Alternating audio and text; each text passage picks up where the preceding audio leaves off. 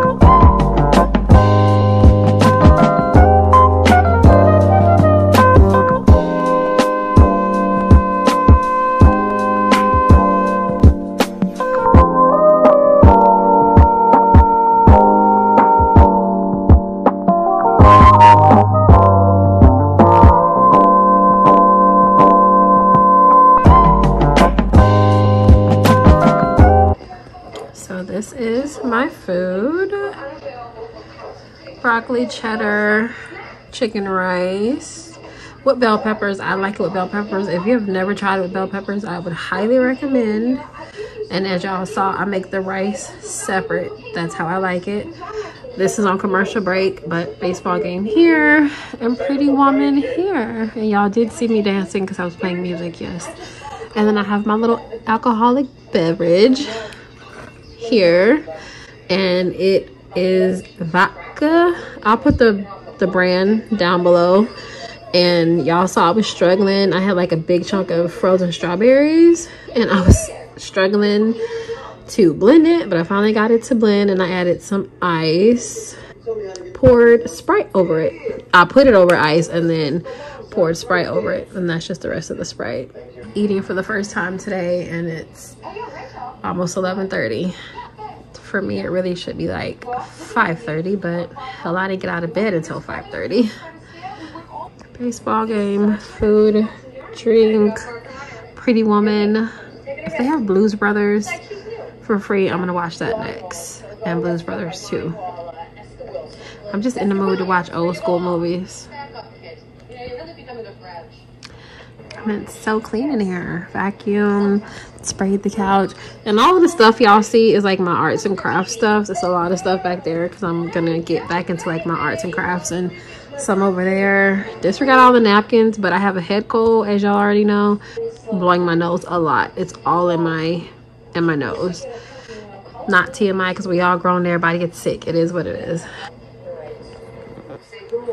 Real quick before my food starts to get cold i actually put in an order even though I should not have been, but I don't get to treat myself anymore because I'm struggling. So I did anyway. Sometimes you just got to say fuck it and treat yourself. Like there's no point in living and you're just always worried about bills and you don't ever treat yourself.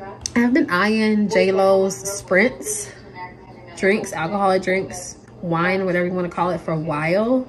And I just never had the money to get it. And then I'm really not a drinker. So it just really didn't bother me to not try it, but I really wanted to. So I finally bit the bullet and ordered it. The liquor store is closed, so I set a time for it to be here tomorrow. So I knew I had some vodka in the fridge at the bottom. I keep it in the back because I don't want to see it because I really don't like to drink. So I said, well, hell, if I can't have J-Lo's alcohol tonight, I'll make my own drink. I made my own drink and tomorrow I'm to try her drink. So I'm super excited. I will let y'all know how I like it when it gets here tomorrow. I cannot wait. That's the backstory of this drink.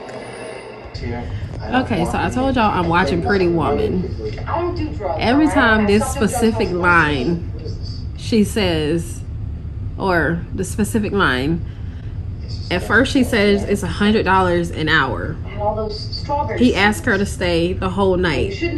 He asked her how much for the whole night?